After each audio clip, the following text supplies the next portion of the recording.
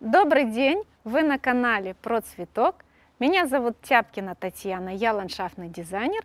И сегодня я вам покажу несколько полезностей, которые вы можете применить на своем участке. Наша тема сегодня – мульчирование цветников и отбивка цветников от линии газона и прилежащей к ней территории. Мульчирование цветников – тема всегда волнующая всех. А, сейчас покажу и расскажу, почему и зачем я и как это делаю в своих цветниках. Цветников наших проектов достаточно много и занимает большие площади. Но встает всегда вопрос обслуживания этих площадей. Понятно, что первый сезон самый сложный, самый основной. Обслуживание цветников, именно прополка, будет максимально большая. Но с каждым последующим годом это обслуживание уходит и минимизируется до двух весной и осенью. За счет чего мы этого добиваемся? Первое, за счет правильного подбора растений и площади, занимаемой посадками. А второе, именно мульчирование цветников. Чем мы мульчируем цветники? В основном я использую мульчу хвойных растений. Это э, кора разных фракций. Но на низ всегда я сыплю первое. Это отсев или же кора самой-самой мелкой фракции. Отсев – это по сути пыль. Э, что он дает и почему я его использую? Первое. Он очень легкий. И э, когда мы застилаем все цветники, он как пыль как опилки, покрывает всю площадь максимально плотно всего цветника. Он не дает прорастать сорнякам, а это самое важное, с чем мы боремся. Из-за того, что он очень мелкий, он держит влагу и не дает э, грунту, а соответственно корневой системе растений пересыхать. Второй момент. На отсев я сыплю уже именно кору, но опять же второй или первой фракции. Она более плотненькая, и ее э, немного мы используем. Она придерживает наш отсев, чтобы его не выдувало и дождями не вымывало. Таким способом мы э, защищаем наши растения от сорняков и самое важное от э, иссушения, от пересыхания.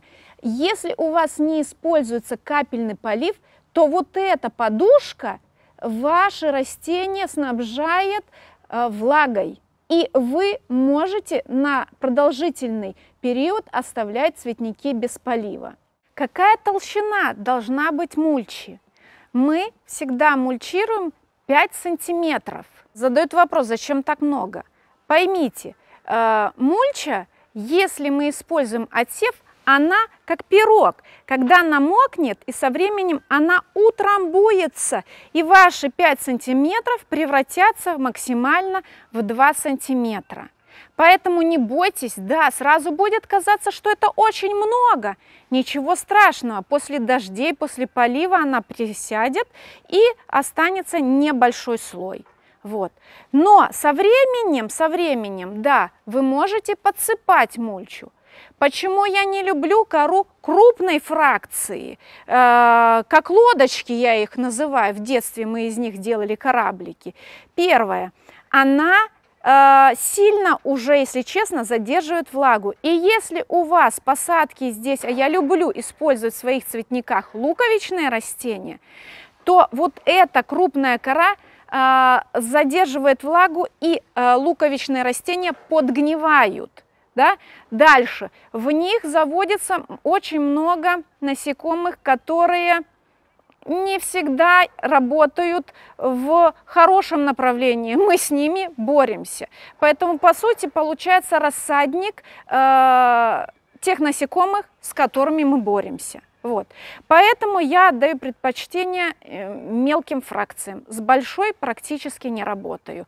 Следующая тема – отбивка цветников от линии газона. Мы пользуемся вот таким пластбордом. Он пластиковый, э, его длина 1 погонный метр. Очень удобный. Высота его 4, обычно мы берем 4 и 5 сантиметра, но если нам нужно повыше, есть еще 7-8 э, сантиметров.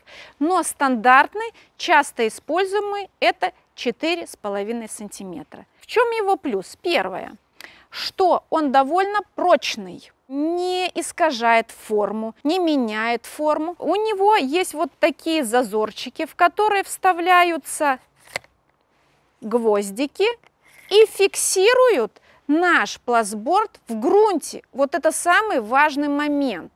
За счет этих гвоздей э, грунт не выпирает наш пластборд после зимы, как обычно это случается с лентой бордюрной, газонной, и он остается в своем зафиксированном положении.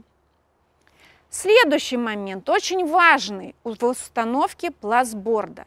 Вы его должны фиксировать вот этой частью под газон, а ровной частью он должен быть повернут в сторону цветника. Почему именно так? Потому что когда вы дальше будете обслуживать эти цветники, вот эта линия, в которой забиваются гвоздики, зарастает травой, сорняками. И достать ее отсюда будет э, стоить колоссальных усилий. В основном придется поднимать заново пластборд, чистить линию и устанавливать его заново. Мы не хотим этого, наша задача малоуходность, поэтому мы его ставим, фиксируем ровной частью к цветнику. И тогда работы по уходу цветника будут наименьшие э, затратные, трудозатратные. На него укладываем газон. Э, если это, как в данном варианте, обсыпки, мы э, выстилаем агротканью, устанавливаем пластборд на агроткань, чтобы сюда ничего не прорастало, и уже тогда засыпаем поверху инертными материалами. Тогда наше обслуживание этой линии будет всегда аккуратненькое. Второй способ отбивки э, цветников от газона – это использование обычной тротуарной плитки. Это было применено у нас на этом участке мы использовали обычную плитку тротуарную, укладывали между линией цветников и газона. Что нам это дает?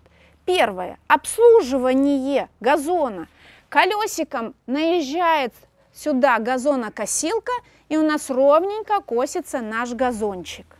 Второе. Наш газон не ползет на цветник. Опять же, обслуживание цветника упрощает нашу работу, малоуходность. И третье, на этом участке моя идея была, это формальный сад, мне нужны были красивые линии.